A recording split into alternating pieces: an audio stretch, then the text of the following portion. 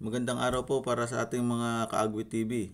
Ah, gusto ko lang po magbigay ng quick update kasi po may bago pong requirements na lumabas para po sa ating passport page copy or passport photo. Ang bago pong requirements nga lumabas ngayong February is 100 KB or smaller at ang pixel naman po is 600 pixel. So previously, ang kailangan pong size ay 1 MB. At ang size naman po ng passport ID ay nananatili pa rin pong 15 KB. So wala pong pinagbago ang passport ID size. Ang nagbago lang po ay ang 1 MB na naging 100 KB or smaller at 600 pixel. Sana po ay malinaw para sa lahat. Para naman po doon sa mga gustong matuto kung papaano po makuha yung tamang size na 15 KB at 100 KB or smaller and 600 pixel. Meron na po akong ginawang video tutorial para rito para po makatulong sa inyong journey sa pag apply sa pagtatrabaho sa Korea. Hangad po ng Agwi TV na maging matagumpay ang inyong pagre-rehistro online gamit po itong ating mga guidelines na ginawa para sa inyo. Hangad po namin na sana po ay makapasa kayo at makapagtrabaho sa